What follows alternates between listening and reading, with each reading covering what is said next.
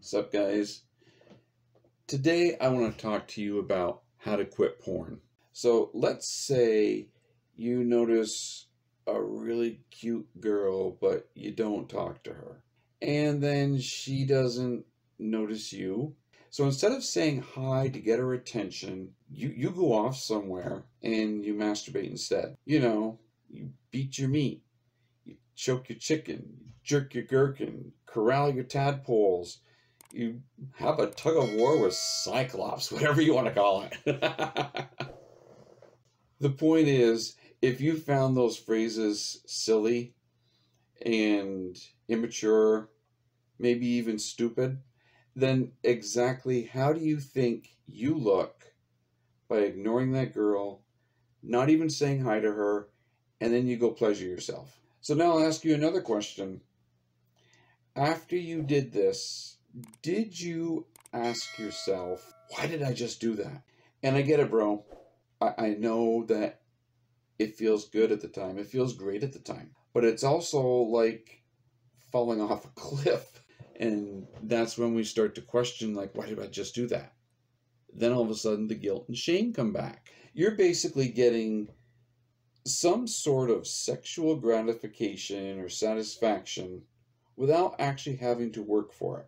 Or some of you may have done what I used to do. You may have just edged so you can drag that out.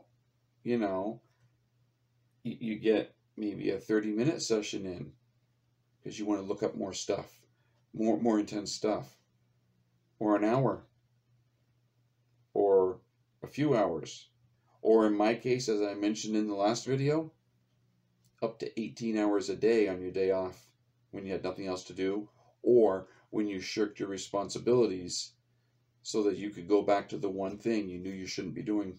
There is a huge cost in this kind of an addiction, this this PMO addiction that is just basically done little more than feminize men. Self-pleasure causes desensitization of your dopamine receptors. And that same desensitization is what's making you look up more extreme forms of porn and becoming more and more addicted the more you do it. So to, to understand how this addiction just sort of snowballs out of proportion, uh, let's do an analogy with, um, let's say, bodybuilding, weight training, any kind of exercise like that. Say you can do 10 reps of a certain weight. So you do the same, you do 10 reps, and you notice that you get a little stronger. The, the next time it's easier to do those 10 reps. Or maybe you notice you're getting a little bigger. But if you keep doing the same weight, you're not going to grow. The same thing happens with a porn addiction. You get bored of the same material over and over. So what do you do? You up your game. Same way with porn. You're going to add more extreme versions of porn. Your addiction's going to get bigger and you're hooked. So when, when I got started with porn, it was just simple magazines. A lot of you may have started out the same way on the internet. You may have just Googled naked women. And that was exciting for a time, but then gradually you lose interest. So what do you do? You start escalating your searches. You start looking up more intense material. You're getting into the fetish territory now. Things are getting darker. You're looking at things that are normally you wouldn't have looked at. You might think they were scary. All of a sudden they're exciting. And that's until they become boring too, and then you have to move on to something else. And you can make this change in two different ways. You can do it the easy way or the hard way there are many ideas and philosophies out there about how to quit porn. You, you've heard all these different things. You know, you gradually quit porn, you gradually come off of this stuff. Uh, that's like an alcoholic going to the bar, and instead of having 10 drinks, he has nine drinks. What you guys have got to do is you've got to quit cold turkey. To, to get over the, the, this cold turkey quit, it, it may seem extreme, but the thing is, just like I said in the last video, you have to replace your bad habits with good habits. So what are some good habits you could replace your, your, your bad habit with? Simple. You could learn to meditate, to calm your mind.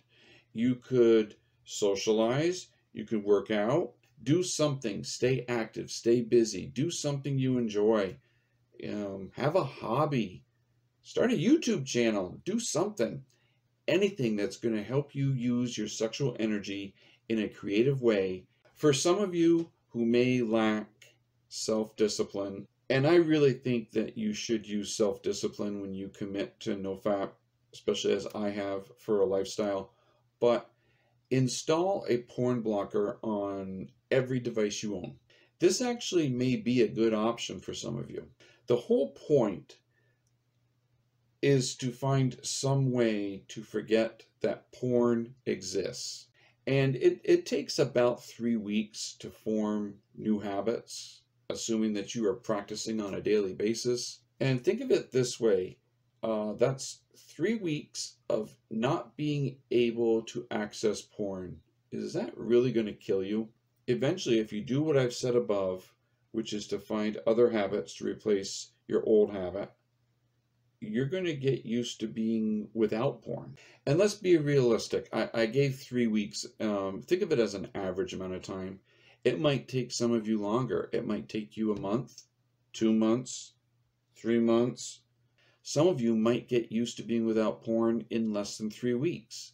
And getting off of porn is going to make a huge difference in your life. Everything that you do will be more satisfying than before. You're not going to feel this draining of dopamine because of porn and jerking off. You're not going to have that shame and guilt. You're going to be having accomplishments. You're going to feel good about yourself. You're going to feel energetic, enthusiastic. You're going to wake up in the morning and just want to get out there and get it done. So, something I'd like all of you to do is to leave a comment below about anything else that you've done or you've thought of doing to help you quit porn. So I'll see all of you in the next video. Peace.